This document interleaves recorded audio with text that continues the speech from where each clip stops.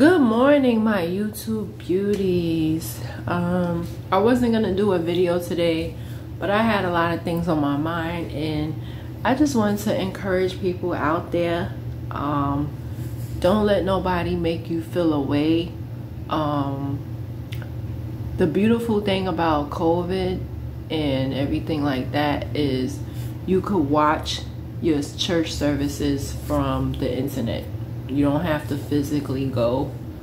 Um, all of us have different schedules. Some people, I know I used to work on a weekend, and just in general, you know, um, especially when my son was younger. When my son was younger, I had to do everything. I had to do all the cooking, all the cleaning. I had to, um, I had to do everything. So when Sunday came around, I didn't want to go to church because I was worn out from work all week. And then when my son was little, from zero to I would say 12, I always took him out. Like I always took him out. I always had a ticket to do something, Disney on Ice, the circus. Like I made sure he had a childhood.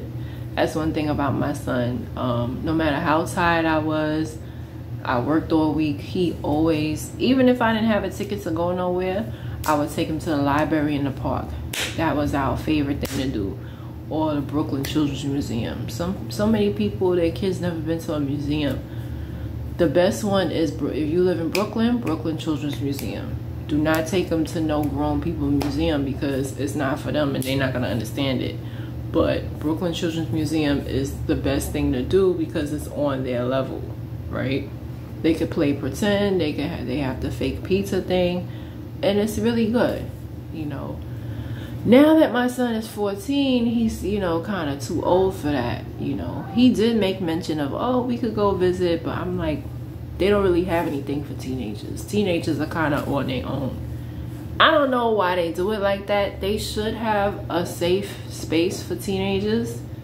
Um, museum, uh, Brooklyn Museum, they had an exhibit for teens, but that was just like a one night thing but in general like there's not a whole bunch for the for teenagers to do. They kind of have to make their own plans. You know and that's not good. Like they should have constructive things for teenagers to do. Same way they have things for adults to do and young children is a gap for teenagers and seniors. A lot of things don't have nothing for seniors. Like they we have community centers but you have a lot of seniors that live in private houses and they don't live near a community center. So what are what are you know what can they do for their leisure? You know, so that's one thing I hope. I don't know, maybe I can get a petition going. I don't know what I have to do, but they need something for senior citizens and they need something for teenagers because it's not a lot of things out there outside of community centers. Community centers, they have things for teenagers too if you guys live in housing um, some people are not aware but like i live in van dyke so our community center they have a gym um, for after school hours in the weekend the kids could come in they could shoot pool you know they could just hang out you know like a, a safe haven for them. And for the seniors they could play bingo they um they'll actually say senior center on a community center um, whether it be Van Dyke, Albany projects, Marcy projects, um, any projects, the community centers are open. So if you want information, just walk in. Don't be afraid. Walk in and ask.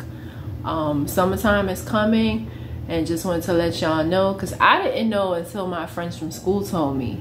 Mind you, I've been living in the project since 2012 and I didn't know they had free camps until you know, someone told me. And so um, my son is a product of the free community centers and they're good. And I worked in community centers during the summer under CAMBA. And sometimes it's not always structured as far as like depending on the director. So where I worked, the the workers um they had to uh we had to think of a schedule and things for them to do throughout the day. Whether if it was like I used to read a book to the kids, Um, and they would have to answer comprehension questions. Um, we let them dance. We let them listen to music. Um, and we would go on trips. We would go on at least one trip a week, sometimes two trips a week. So that was like our highlight of camp. And then my son, he went to Van Dyke um, summer camp. When he first went, it was excellent. They they actually had reading and math for real. They had some coming teaching. Um, he took karate. He took swimming um, it was such a wonderful, wonderful program. And then I don't know what happened the following year. It just went downhill. My son was like, they wasn't doing anything. They was just kind of sitting around. Um, they took him to the precinct without telling the parents. It was supposed to be a trip. And I'm like, what type of trip is that to take black kids to the precinct? What are they learning from that? They see that every day, very negative the community we live in, they see cops all the time. They don't need to see that, you know, as a trip, you know. So then they didn't have air conditioning. And that's when I called 311 and they shut down for the summer and I had to bring my son to work with me. That was back in summer of 2018. So it, it was, it, it got crazy, but for the most part, community centers, they are a safe haven for children and it's a free program. So if your child is between the ages of 6 and 12, no, 5 and 12, they could enroll. So that's between grades kindergarten through 6th grade. They could go. Once they turn 13, um that's it. They're not supposed to be in there. Now, depending on the director, like last summer, I had to beg the director to let my son in, and he let him in because I was like, he's 13. You know, at 13, they can't work. So it's like, well, what what is he supposed to do for the summer? You know, so I begged the director, Howard Houses, and he went. And my son complained that it was boring, but I'm like, at least you around other kids. At least you know you going on trips. And that's the key thing is like i'm like you could make it fun. Y'all could bring board games. Y'all could play cards. Y'all could play tic-tac-toe. Like you know make it fun. But you know regardless if they're not doing nothing or not the main thing is the trips and that's important you know trips is important i think that trips is important for kids adults whatever you know just going out is is very important you know, it builds social skills. It makes you a better person. It makes you more uh, open-minded. You know, it's just it's good. You know, um, but yeah, that's I wanted to share that information just in case if people didn't know. If you live in an urban area now, suburban, most people pay for go away camps. My son went to go away camp. Um, through his school years ago. I did I personally did not like it because go away camp as a parent you cannot call. They have a rule that you the parents cannot call. Um I didn't like that. And then my son told me how the boys was playing with each other wee wee in the bathroom. So I did not like that. And then the majority of the people that was working in the camp were kids. Like I understand teenagers need summer jobs too, but I feel like with any camp or go away camp, you need to have more grown people than than teenagers because kids are gonna be kids. They still kids. They're teenagers, so they're not gonna put hundred percent in their job because at the end of the day, they don't need their jobs. They live at home. They're not paying no bills, so they're not gonna put their hundred percent in it. They're not, even if they are mature you know like when i worked with summer youth you you know i was in 2018 i was how old was i i was 29 yeah i was 29 was i 29 wait how yeah how old was i so i was 25 in 2014 so yeah i was 29 so I, yeah i was 29 was i yeah that was five years ago I'm 34 now. So yeah, I was 29. So a lot of the people I was working with, they were teenagers or whatever. And they did the best they could. I'm not gonna lie, but it was a lot of immaturity because they were teenagers. So I just wanted to let parents know that, like, you know, you can't expect but so much from teenagers because they're still developing mentally, socially, physically. So they're not gonna put, you know, for me, I rather more grown people than teenagers watching after my kid, you know. Um, also, they need to do more background checks. Um, I never forgot Van Dyke. Um, the summer I pulled him out, there was a worker that was on her break and she was smoking. Now, I'm not saying that you cannot smoke on your break. I would never say that to nobody. But I feel like if you work with kids, I don't feel like you should smoke in the vicinity because it just doesn't look good. It makes you make yourself look bad you making the job look bad and it just looks i don't understand i'll never understand it because i'm not a smoker but i just feel like if you're on the clock you shouldn't smoke and that's just my personal opinion i really feel strongly about that i remember when i used to do security people would be on they would smoke right in front of the job and I thought that was so tacky and they would come back and smell like cigarettes. It's like now one particular girl, she smoked but she never smelled like cigarettes. That's the one I told y'all about. Me and her didn't get along. Her last name was Brown. But that's one thing I admired about her. She and I told her that too. I said, it's amazing you just took a smoke but you don't smell like it. She's like, yeah, because I don't smoke like that. She said, she said, I don't smoke the whole cigarette. She was like, I smoke puff puff and I throw it away. I said, oh, okay. But she never smelled like cigarettes. She smoked cigarettes, but she never smelled like it. So I feel like if you can't be like her, you shouldn't smoke. Now, our supervisor, he used to come in smelling like smoke. He would take a smoke break and then come in smelling like smoke. And I thought that was just so unprofessional because it, it stinks. Let's keep it real. Cigarettes stink, all right? I rather smell weed than cigarettes. If I have to have a choice, I don't like the smell of weed either, but I rather smell weed than cigarettes. You know, and then, you know, vape. Vape has no smell. So vaping, I don't have a problem with vaping, you know, or people not to bring a whole hookah shit, but you know, yeah so the girl i didn't get along with that's one thing about her. Um she would take her smoke and she would never smell like it. Now i was talking about the lady i actually was coming from work and um i was coming from CAMBA myself and i saw one of the workers at my son's camp smoking now she was on her break what it looked like, but I just thought that that looked so unprofessional. It's right in front of the center. Like my thing is, if you have to take a smoke break, I feel like you should not be wearing a uniform because when you work in a summer camp, they make you wear these t-shirts. So I feel like you need to take off your t-shirt.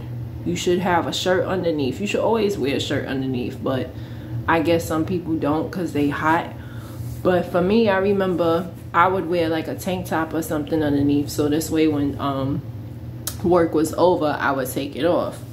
Just because I don't want to be in that all day. You know, that's just for work.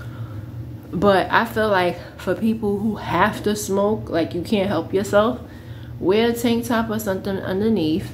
So this way when you take your break, and then you should not be smoking in front of where you work. You should do it like around the corner or something. It's just people i feel like people don't have common sense and they don't want to have it. So this same lady my son described her to me. When they when they took the kids to coney island she was rolling up. Like what the hell? Like why would you be rolling up to the point that my son see you which it's like really he said how she went like in the back where she thought nobody would was um would see her and I'm like, well, what was she rolling up? Because I was curious. I was like, how does this boy know? I'm like, mind you, my son was very young. Five years ago, he was nine. Like, that's a baby to me. Nine years old, and he know what rolling up is. It's like, yo,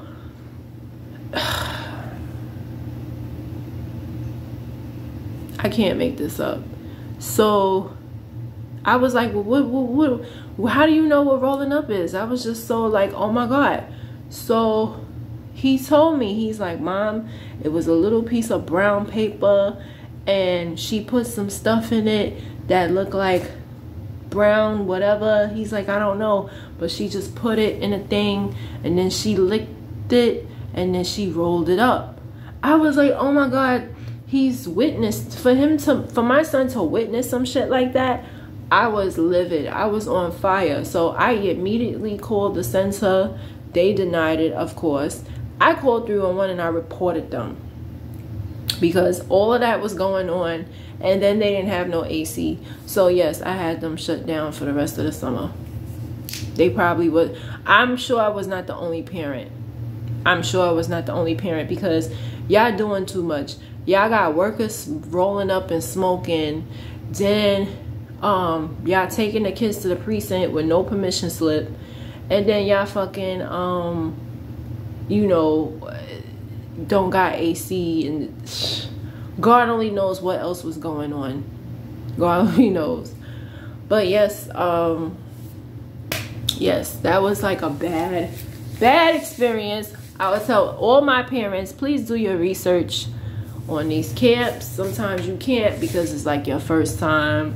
You know, if you're a new parent and stuff, and it's your first time putting your child in camp, because most people they have family watch their kid over the summer or they'll stay home with their kids you know and some people don't want to be bothered because it's like i don't want my son in a pro or daughter in the projects i'm not put like i remember this same coworker i was telling her about the free programs and she was like i'm not putting my children in no projects da da da i was like it's to give them something to do she was like no i don't care i don't care so you have some people that they think all the centers are bad, but not all of them are bad.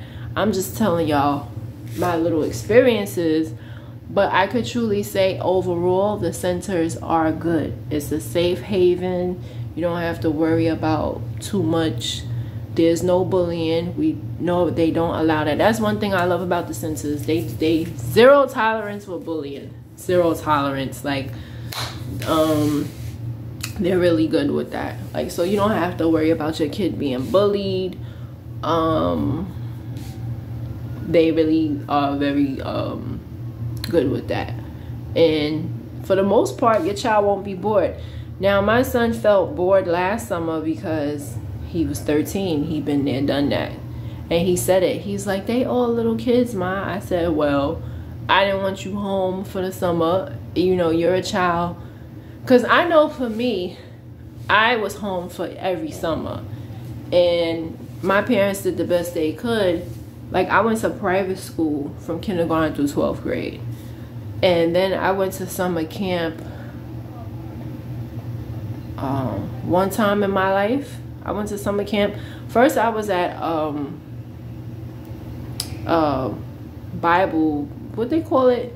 Bible camp or whatever day was boring. All we did was play Monopoly all day. And I told my parents. So they pulled me out of that. And my computer teacher from elementary, she had a camp inside of a public school. She had a hookup.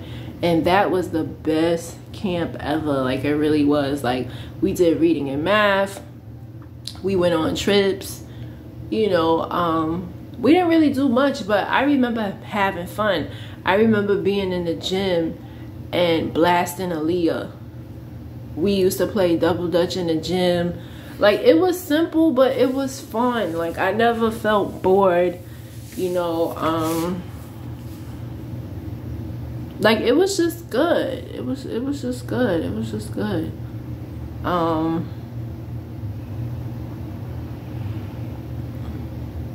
it was good. Um but the church i was you know i would tell people do not put your child in no church camp. Um, they are unorganized and they don't have licensed teachers workers in there. Um, i don't know what the fuck but i remember i went to a camp called anointed minds. I remember being bored. Um, i did get teased. That's the funny thing. I never got teased in the other camp no, the other camp, it was one girl that was bothering me. I actually knew her from school, and I had to bust her up to teach her a lesson. But other than that, I was fine. And then, um, Anointed Minds, I remember. I don't know if I was there the whole summer. Was I there the whole summer? But that was extremely boring. Like, we didn't do nothing all day. Nothing at all. And I know my father was paying money. But I remember the, the name was Anointed Minds.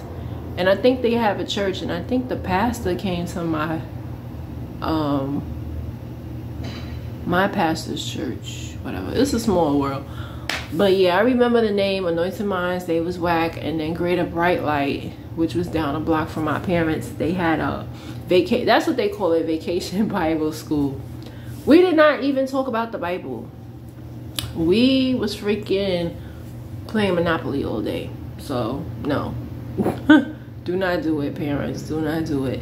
Vacation bible school. They don't even read the bible.